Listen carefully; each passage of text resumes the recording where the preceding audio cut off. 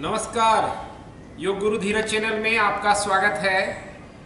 आज मेरे उन सभी भाइयों के लिए पाँच आसन जो जिम में जाते हैं और बॉडी बिल्डअप करने के लिए वेट लिफ्टिंग प्रैक्टिस करते हैं। उनकी तैयारी काफ़ी अच्छी है, काफ़ी मेहनत करते हैं, लेकिन हमारा मानना है कि योग आपको बहुत सारा ऑप्शन देता है वेट लिफ्ट करने का। और वो वेट लिफ्ट कहीं बाहर से नहीं, आपके खुद के शरीर को उठाने का।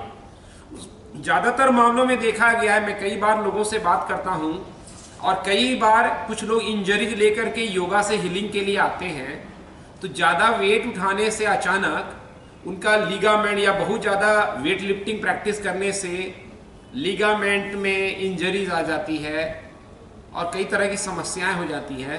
तो इस वीडियो में फोकस है कि अगर आप खुद को ज़्यादा चैलेंज देना चाहते हैं तो योग के इस चैलेंज को एक्सेप्ट कीजिए। और आपका शरीर इतना होशियार है कि जब आप स्वयं का वेट उठाते हैं तो आपको एक सही बैलेंस में, आप रिजिट होकर के काम नहीं करते और सेफेस्ट वे में अपने शरीर की क्षमता को बढ़ाते रहते हैं। हालाँकि दूसरे वेट लिफ्टर की तुलना में हमारे शरीर में कोई मांसपेशियाँ नहीं है, कोई मजबूती नहीं दिख रही होगी बहुत डोले सोले जो बन के सामने आ रहे हैं, वो हमारे पास नहीं है। लेकिन योग एक अलग शक्ति देती है आपको। और वो शक्ति इनर पोटेंसी है आपकी ब्रीदिंग है, मन का फोकस है। अगर इन तमाम चीज़ को आप करें तो सिर्फ़ आप वेट लिफ्ट करके मसल्स को मज़बूत नहीं करते आप अपने मन को, अपनी एकाग्रता को भी बढ़ाते हैं। इसलिए ऐसे सभी जिम में जाने वाले भाइयों वेट लिफ्टर भाइयों के लिए ये वीडियो समर्पित है, वो ट्राई करें। अगर वो इसमें ट्राई करके आगे बढ़ना चाहेंगे तो हम और नेक्स्ट वीडियो बना करके उनको समझाएँगे, बताएँगे, सूत्र की कैसे आप इजी इसको प्राप्त कर सकते हैं। तो हम स्वयं का वेट क्यों नहीं उठाएँ? जैसे मेरा वेट करीब करीब सत्तर के है तो हम सत्तर के को उठा रहे हैं। आप जिम में बीस के जी पच्चीस के जी उठा रहे हैं, उससे अच्छा है ना हम सत्तर के जी उठा लें। तो अलग अलग पाँच आसन, जिसमें हम अपने वेट को अलग अलग दिशाओं में उठाते हैं तो ओवरऑल स्ट्रेंथ डेवलप्ड होता है। ऐसे बहुत सारे आसन हो सकते हैं, लेकिन मैंने पाँच आसन सेलेक्ट किया है। दो मुख से पहले।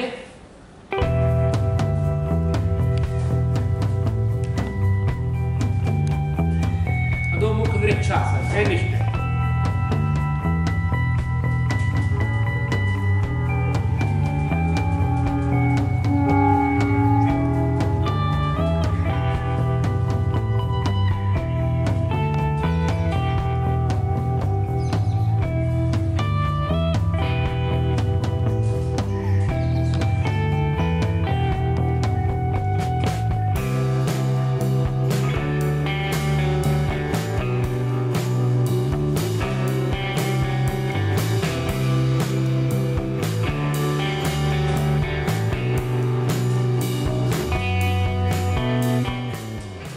पहला आसन है वृक्षासन, अधोमुख वृक्षासन।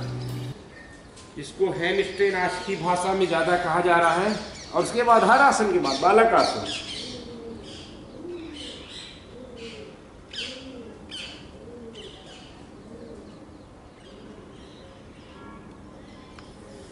तो बालक आसन क्या करता है? अपसाइड डाउन पोजीशन आप करते हैं। तो आपके पहले सूर्य नाड़ी एक्टिव होगा, बालक आसन करके आप चंद्र नाड़ी को तो बैलेंस हो जाता है, आप शांत हो जाते हैं ब्लड का फ्लो जो सिर के तरफ़ ज़्यादा बढ़ा था फिर नॉर्मलाइज हो जाता है। दूसरे आसन को करने जा रहे हैं। इस बार मैंने पहले बैलेंस किया हैंड के ऊपर और अब फोर आर्म्स के पैर ऊपर। लेकिन हैंड स्ट्रेंग के कई तरीके हैं।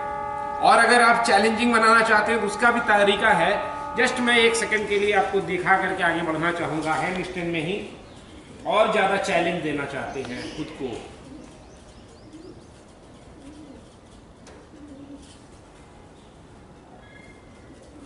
क्रॉस करके आप रख सकते हैं। उसके बाद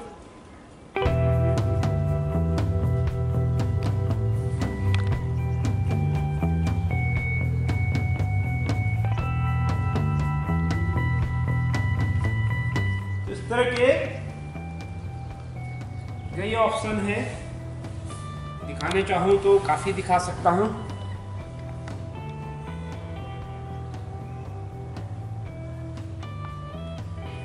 बस मकसद ये है कि आप जब करना ही चाहते हैं वेट लिफ्टिंग तो स्वयं का वेट उठाएँ। मशीन को उठा के क्या होगा? और उस मशीन को खरीदने में भी लाखों रुपए व्यर्थ जा रहे हैं। इसीलिए ये प्रैक्टिस है। अब देखें आगे। फोर आर्म्स क्या फोर आर्म्स को स्ट्रेंथ ट्रेनिंग करने के लिए? क्योंकि जब आप हैंड स्टैंड करते हैं तो अलग तरह की शक्ति को चैलेंज मिलता है। फोर आर्म्स में अलग तरह की। देखिए।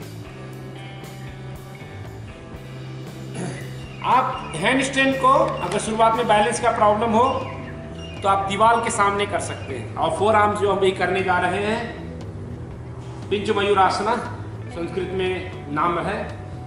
वो अभी आपको दीवार के सामने कर सकते हैं।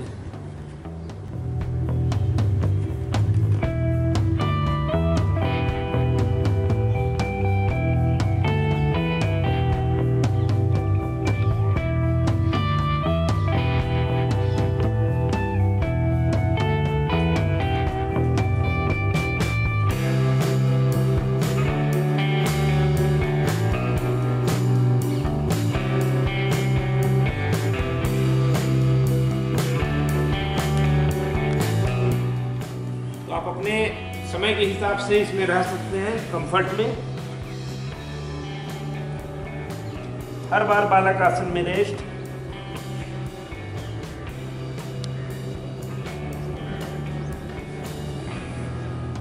तो ये दूसरा बैलेंस था।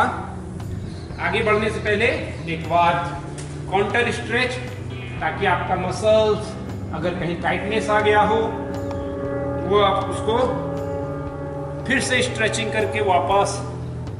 यही समस्या होती है जिम में जाने, क्या, कि आप काउंटर स्ट्रेच नहीं करते हैं आप ब्रीदिंग को इस्तेमाल नहीं करते हैं आपके मन का फोकस का इस्तेमाल आप नहीं करते हैं। योग इन खूबियों के साथ आता है। तो आपका मसल मज़बूत तो होता है, लेकिन स्टिफनेस साथ में यहाँ पे हमने स्ट्रेच करा लिया दोबारा। तो आप देखें शोल्डर पे स्ट्रेचिंग बढ़ गई है। तो वो आपको बेहतर करता है। अब साइड स्ट्रेचिंग साइड स्ट्रेचिंग करते हुए अपने बॉडी को लिफ्ट करना।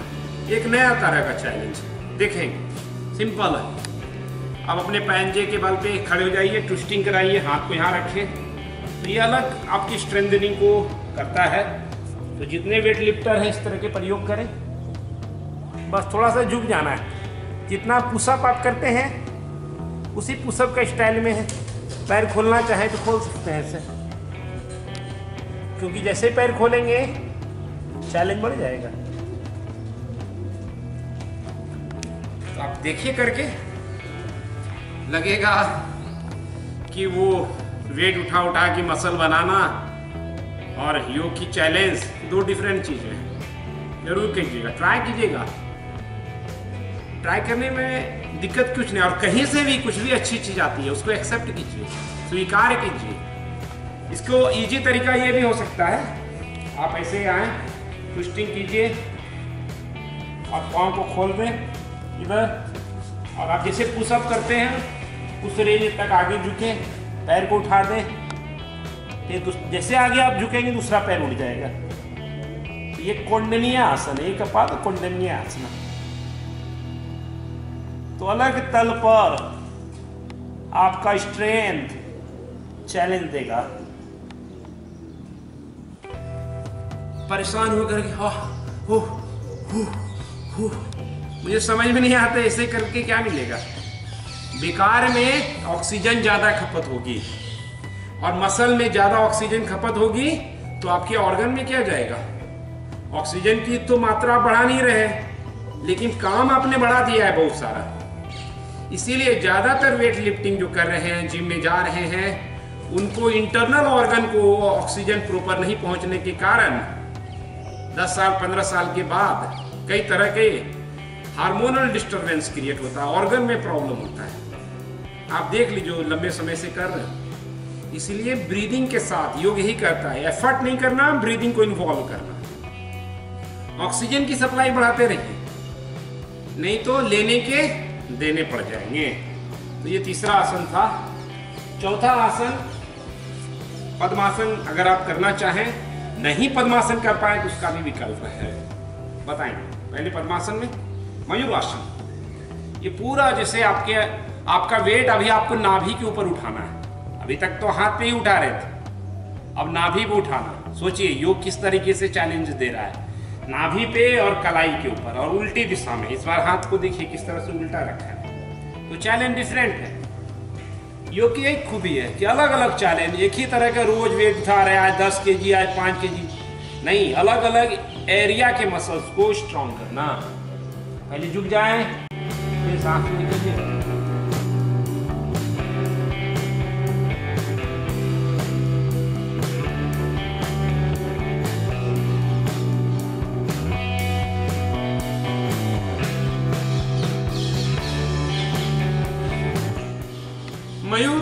पद्म मयूर पूरा, आप देख रहे हैं नाभि के अंदर एक्टिवेशन पेनक्रियास आंत, सबको मजबूती। तो योग की योग का अंतर समझ रहे हैं वेट लिफ्ट तो हुआ, लेकिन साथ में आंतों को मज़बूत किया गया कोर को स्ट्रांग किया गया पेनक्रियाज को बेहतर किया गया, वहाँ ब्लड की सप्लाई बढ़ गई। तो सिर्फ़ वेट उठाना मकसद नहीं है। इंटरनल ऑर्गन को बेहतर कर देना, ज़्यादा वहाँ ऑक्सीजन पहुंचाना। और अगर किन्हीं को दिक्कत हो रही है कि ये कैसे करें तो शुरुआत में मयूरासन का एक आसान तरीका हो। जिम में ज़रूर अपनाइएगा। आप हाथ को सीधा रख सकते हैं, क्योंकि चैलेंज बढ़ेगा। और नी को फैला दें। और फिर एल्बो को मिला करके नाभि के ऊपर रखें, सांस छोड़ दें। पहले धीरे धीरे सिर नीचे कर दें। और पाँव को उठा करके लिफ्ट करें। और नी को बाहर की तरफ़ जैसे उभरा हुआ हो, पंखा की तरह एरोप्लेन के पंखे की तरह। फिर सांस लेके कमर को सिर को ऊपर उठाएँ। फिर आप पाँव को खोल सकते हैं।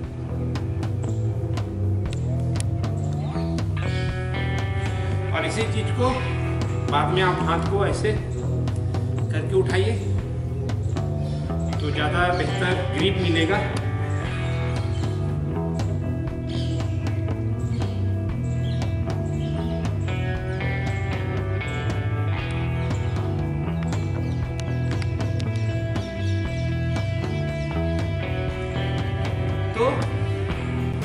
सीधा, ये पद्मासन जो नहीं जानते। उनके लिए पद्म मयूर, ये सीधा मयूर। और इस तरह के कई सारे लिफ्टिंग हैं जो आप करना चाहें तो मैं बताता रहूँगा। पद्मासन करना चाह, जानते हैं तो आप पद्मासन में कर सकते हो। उत्पलुति ये अच्छा है कोर बिल्डअप भी करेगा वेट लिफ्ट विंग का भी आपको अभ्यास बना रहेगा। पद्मासन लगा के हाथ को सामने रखें नी को ऊपर उठाएँ, सांस लें और ऊपर।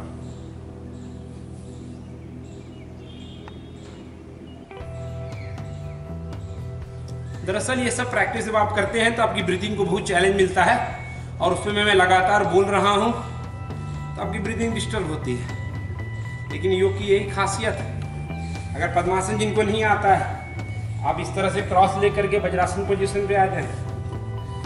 और नी स्पाइन को थोड़ा टेढ़ा करें, सांस ले, ऊपर उठ जाए। तो इस तरह के कई वेट लिफ्टिंग के प्रैक्टिस हो सकते हैं, आप ज़रूर आजमाइए। और मसल बिल्डअप के साथ साथ ये मसल को ऐसा दिखाएगा नहीं, लेकिन स्ट्रांग होगा। आप दिखावा चाहते हैं या स्ट्रांग चाहते हैं, वो आपके ऊपर है। आप सिर्फ़ ट्राइसेप, बाइसेप को मज़बूत करना चाहते हैं शोल्डर को, या साथ साथ में आपका ऑर्गन भी बेहतर रहे, वो आपके ऊपर है। अगर आप ये सब करना चाहते हैं तो योग के इन टिप्स को, योग के इस चैलेंज को एक्सेप्ट कीजिए। और इस एक्सेप्टनेस के साथ आपके अंदर ट्रांसफॉर्मेशन रूपांतरण घटित होगा। इसलिए योग गुरु धीरज चैनल को सब्सक्राइब करें और आगे आपको मैं अलग अलग टिप्स दूँगा कि कैसे आप इन तमाम चीज़ों को एक एक आसन को लेकर के एक एक वीडियो बनाया जाएगा, जिसमें डिटेल पड़ताल होगी कि कैसे आप प्राप्त इसको कर सकते हैं। तो नोटिफिकेशन मिले, उसके लिए बेल, यूट्यूब का नया सिस्टम है, आप उसमें बेल को रखें स्थापित अब जाते जाते एक आसन और, ये पाँच आसन से गिनती से बाहर है, बस फिनिशिंग आसन।